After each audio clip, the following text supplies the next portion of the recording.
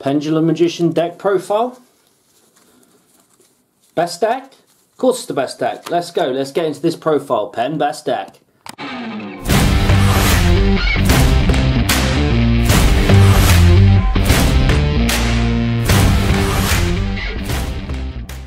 Alright guys, welcome back to my Pendulum Magician deck profile. This is not Dracoslayers, not yet, I haven't got all the stuff. Um, it's more Magic Spectre Dracoslayers. Um, obviously, I'm doing this for the budget series, um, but I thought I'd bring you a proper one with Baronne and stuff. So let's get into the profile, and I'll tell you the reasons why I'm playing the, these ratios. Three Harmonizing Magician. This card's insane. It allows you to special summon a magician from deck when it's pendulum summoned. Also, it cannot be pendulum summoned from the extra deck, so that's why we play three Oath Dragon because we play Baronne, so it's important to play three. Um, also adds Oath uh, Harmonizing back and Cosmic Run around as well, but it's three standard. Um, three double iris. Um, this one, when it's destroyed by battle by card effect, adds you the Pengraphs. So yeah, it's really good. Uh, three Wisdom Eye replaces itself in the scale to, to become any magician scale. Also, if you have Performapal Monkeyboard, you can still activate this because it's also um, it's when a magician or Performapal is in the scale. So yeah, it's really good. Um, play three purple poison. Um, so this card's insane. It allows you to break boards, um, and the fact that also I built this deck to like go second as well. So a Magician, in my opinion, is a utility card, but it's also really good with like Wisdom Eye. This deck is basically rank 4 Turbo. I'm not playing Scythe. Um, Scythe is good, but I just want to keep it rank 4 uh, Turbo. I think that's probably the best route to go, but you can play Scythe if you really want to. Uh, three Black Fang Magician. Um, might not be good going first, but going second this card's insane. The utility of it is really good. Um, also, it's a level 4. Like I said, I'm playing rank 4s and rank 4 version. You know, most of these magicians are level 4s, apart from Oath Dragon, but, you know, against Tia, Dweller's, like, really good. If you have it backed up with a Baronne and a Pengraph, like, I don't really think Tia will win in that matchup, unless, like, play Spright or something. But, yeah, it's really good. And Tia's probably one of the, is the, the best deck of the format. Uh, one White Wing Magician. Uh, this is in here for the extra tuner because uh, harmonizing can't be synchroed with the Perform Pals or the Curtain Raiser or anything like that. So that's why I play one White Wing Magician. Um, but yeah, it's really good. For the Perform Pals, one Monkeyboard. This card's at one. Wishes it, it was at more. It searches three Joker, so glad this card's at 3. Um, you can search uh, any Magician or Performapal Odd. So it's probably one of the best cards in the deck. So yeah, really good. Uh, play 3 Sorcerer. Um, this one pops your double iris to add the Pengraphs, to add Jokers or add Celestials, speaking of Celestial. This card's actually insane. Um, but yeah, back onto the Sorcerer. It's really good going first. Um, you kind of, you know, you, unless you, and you can still pop your Double Iris with the Baronne, but that's really good. And Celestial's monster effect, if you're against two, you make Baronne as the fifth summon, and if you have this, you lock off their monster effects, so yeah, that's really good. For the extenders, the Curtain Raiser, um, this is, this is really good. Tia is playing Spell Canceller, so you can normal summon this and just beat over the spell cancellers, then you can start playing.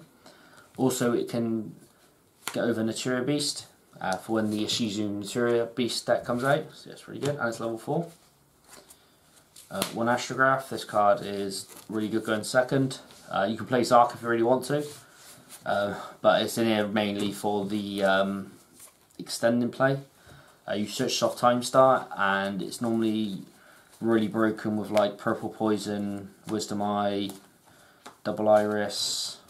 Yeah, we play Astrograph because it's a really good extender and you can search out Time Star. Um, for the others, three chronograph, and one time gazer. Um, really good extender, and you know it's pretty good.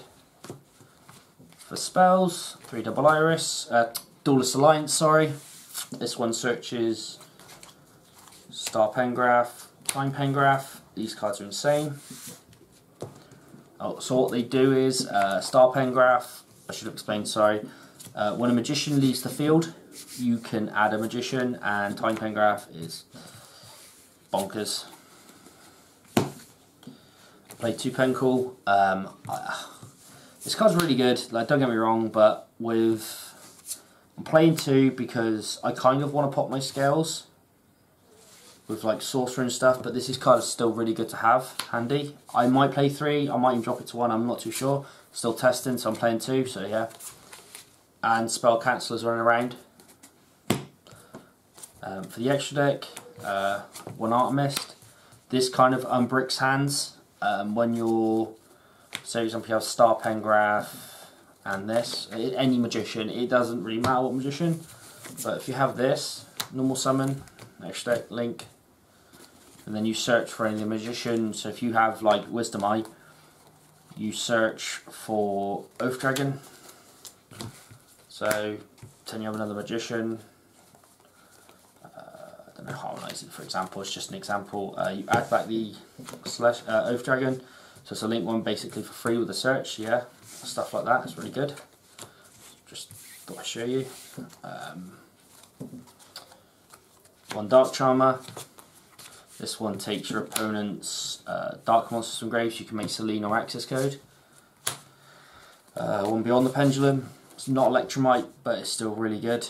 Um, pay one two and search the missing Pendulum uh, card you need. Also, if you summon two levels monsters, Pendulum monsters different to these zones. So if you Pendulum summon, for example, Chronograph and Time Gazer, um, you can pop two cards and it's really good going second. So yeah, that's why I play Beyond the Pendulum. Uh, one Selene, uh, this card's really good. Uh, also set up the access code line.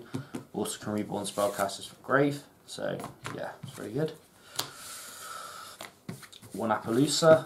uh, negating cards is monster effects is really good against like Tear, Spright, um, anything generic. Know, it's really good. Nibiru, uh, one access code to finish games. Uh, so, one Baronne, um, you can easily make it this deck with Chronograph and White Wing, or White Wing and Oath, or Harmonizing and Oath Dragon. And this allows you to pop your double iris to add you, add you the Pengraph. Uh, I'm playing one Omega. So the, the theory behind this is you'll normally have, for example, one, two, four, right? For example, you pen summon one, two, three, effect summon from deck, right? So you have four. Um, you go these two into this, and then you have a, go a mega effect to loop the card at the hand. So if you're playing, uh, I don't know, against like Tearlaments, you get hand knowledge of what to make. So you can do this and then put, I don't know, Dweller, or if you're playing against Floowandereeze, Bagooska, or if you're playing against the back row deck, you put Tornado. So that's just the theory behind it. Um, I think it's cool theory, um, but you can replace this with Ignista, uh, you can play Savage Dragon, um, you can play the Tengi, uh, Berserker the Tengi if you really want to, but I like Omega. Um, for the uh, one Tornado for back row decks and pop in your own um, Double Iris or any other um, problematic cards. One Bagooska, this card's insane against Floowandereeze and Swordsoul and Despia, so yeah, it's really good. I would consider playing two if I had the room, but I've played one for the time being. Um, so here's the theory for this. Oh, hold on. Uh, Supreme King, Dragon, Dark Worm, Rebellion. Um, this ends games by itself uh, to time star. Um, if you really want to, you can cut a time star for a Dagda, put a Scythe in. Um, but I'm I might try Scythe out in the future, but I like this build at the moment. Um, so Time Star is really good. You can add Dark Spellcasters and also protect your scales. Um, so yeah, if you're playing against like Flunder, uh, you normally make Time Star and Bagooska, um, and then you've got Pengraph. But yeah, so you have the Pengraph backed up, and then you'll go effect against Flunderies, uh, target one of the scales, um, and then you'll go Time Star, send a spellcaster grade, then send. So yeah, it's really good. I mean, if they open Dark Riddle, the open Dark Riddle, right? that's pretty good. Uh, so that's for two Time Star Magicians. Um, so in the budget series, I've said that when we're at regionals in Brighton, I was discussing with Ryan and Shane, and we decided to play two dweller. Uh, I'm still on this. I think this this, this card's insane. It literally wins games by itself against Tearlaments. Um, if you can't OTK, um, or they got an awkward board, you commit. the second one comes out. You can make the second one. Um, but yeah, there's actually a cool thing you can do because uh, some of the time they're trying and beat over the uh, dweller. So what you can do is instead of putting, if you don't have, if you pen, don't have Pengraph, put harmonizing in the scale. So, example, they have you have three magicians in the scale in the extra deck. Your dweller becomes two two. So yeah, just little things like that that make the deck really insane. Um, but yeah, that's my pendulum deck, magician deck profile. I hope this helped.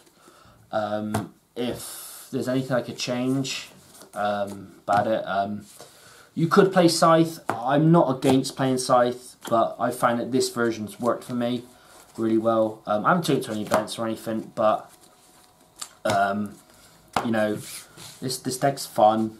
Um, and you know we don't have Halq anymore unfortunately but it's what it is. Um, but yeah if you wanted to play Scythe you could you could take out the Omega if you really want um, one of the Dwellers or one of the Time Stars. Um, but yeah and you know play Scythe uh, take out one of these. Also you could play Prosperity, Desires, Allure um, I've chosen not to go that route because uh, of Droll but I know this deck searches so that, that doesn't make any sense um, but yeah, thank you guys for watching the Pendulum Magician deck profile. Um, hopefully I've gone in depth on why I play the ratios I do. Um, but thanks for watching. Don't forget to like, share and subscribe. And check out the budget series for episode 3 coming this week. Cheers guys.